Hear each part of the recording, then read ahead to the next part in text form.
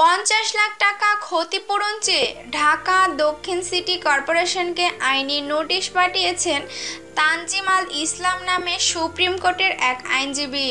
নিজের স্ত্রী ডেঙ্গু জ্বরে আক্রান্ত।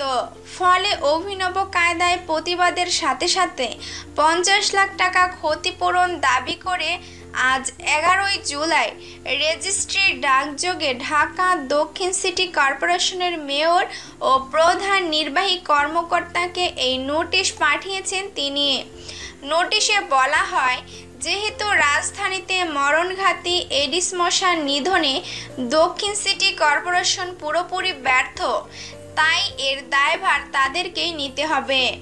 ক্ষতিপূরণ প্রদানের পাশাপাশি আগামী তিন কার্যদিবসের মধ্যে খিলগাঁও ও এক নং ওয়ার্ডের মশক নিধন কার্যকর পদক্ষেপ নিতে হবে।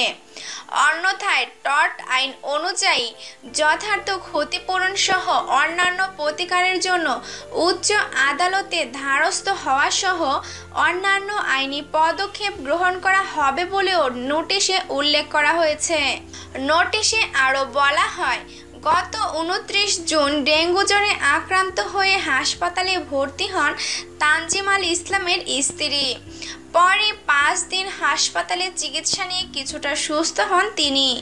পরে উদ্বুদ্ধ সমস্যার নিরসনে ঢাকাবাসীদের পক্ষে দক্ষিণ সিটি কর্পোরেশনের মেয়র ও প্রধান নির্বাহী কর্মকর্তাকে লিগাল নোটিশ পাঠানো হয়।